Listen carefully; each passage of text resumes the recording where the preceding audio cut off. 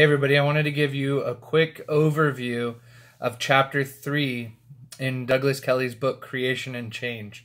Chapter 3 is called An Absolute Beginning. Uh, in this chapter, Douglas Kelly is addressing the topic of creation ex nihilo. Ex nihilo means from nothing. Um, so we know in Genesis 1 1, it says, in the beginning, God created the heavens and the earth.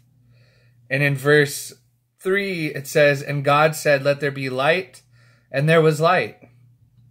So here we have God speaking, God speaking powerful words, God speaking words and things happening. There's no there's no creation through pre-existing materials. Some of the creation myths um, of of other cultures had a creation where existing materials, existing matter, um, is is what was used to create the the the universe or the world. And Genesis one one, Douglas Kelly argues, teaches creation ex nihilo. Um, now, in the chapter, he he's going to compare and contrast two different kinds of creation both of which are in the Genesis account. And God used both of them. The first is absolute creation, which I just mentioned, and then relative creation.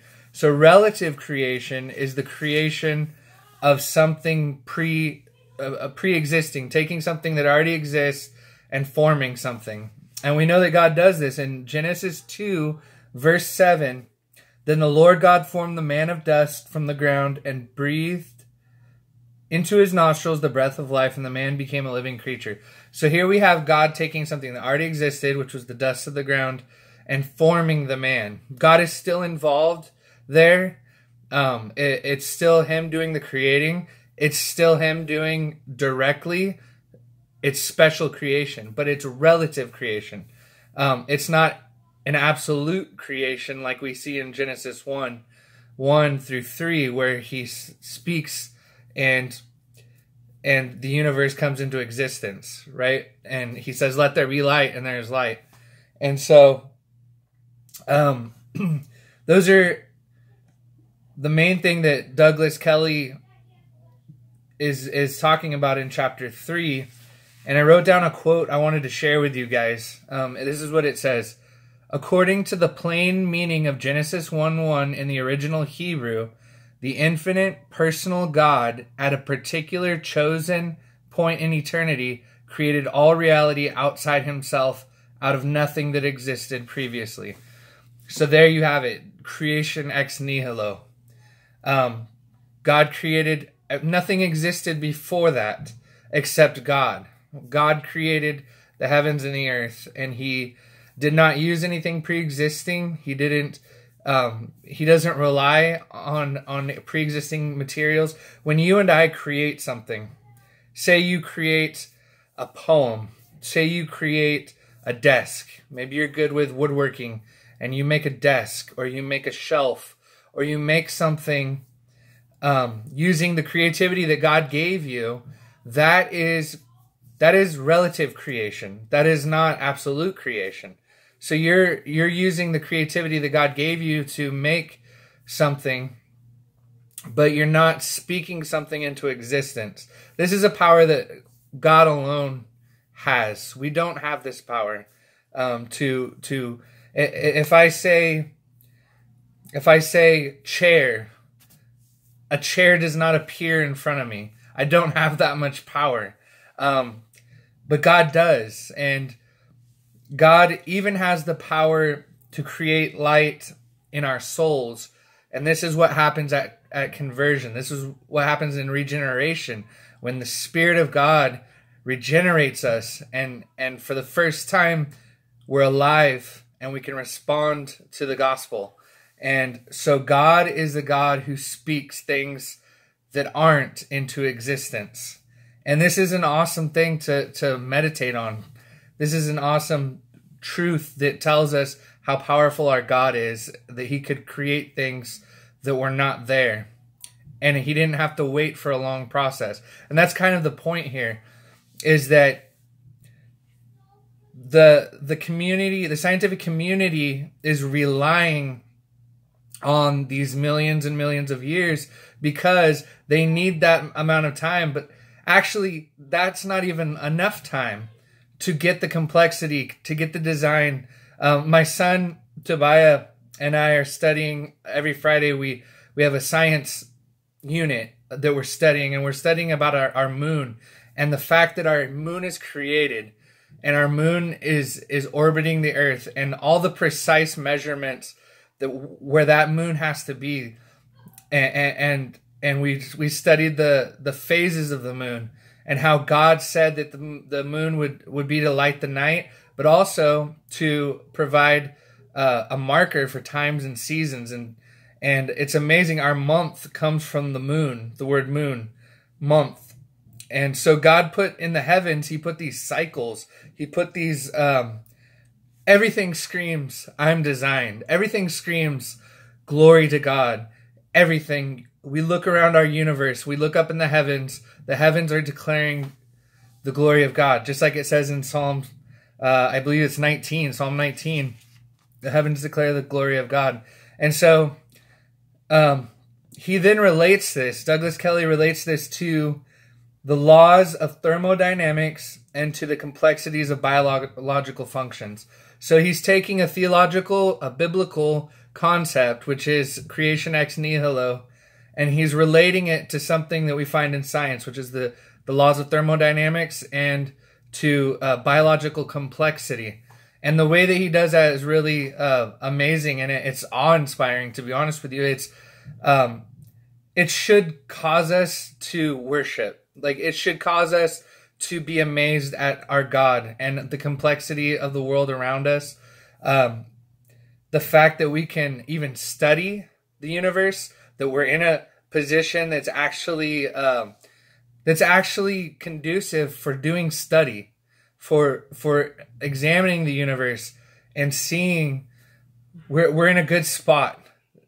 We're not just in a good spot, we're in the perfect spot to to see what we see in the universe and to be where we're at.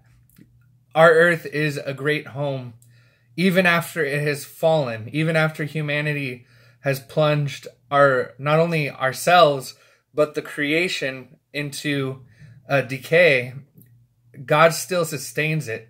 God, through Jesus, we we see in the New Testament that Jesus in John 1, 1, 1 uh, John 1 1 through 14, he was actually there at the creation. Father, Son, and Spirit were all involved in the creation process.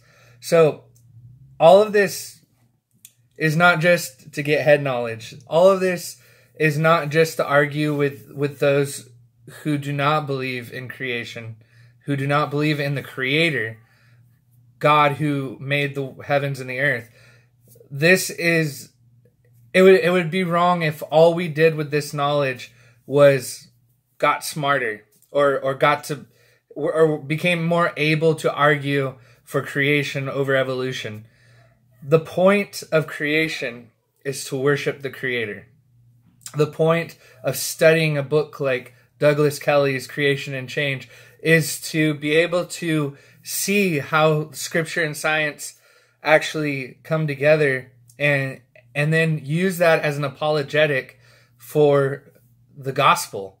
Because the point of all this is that the creator god came and, and took on human flesh in the person of the son took on human flesh to live a perfect life to die for our sins the sins of all the whole world and then to rise again.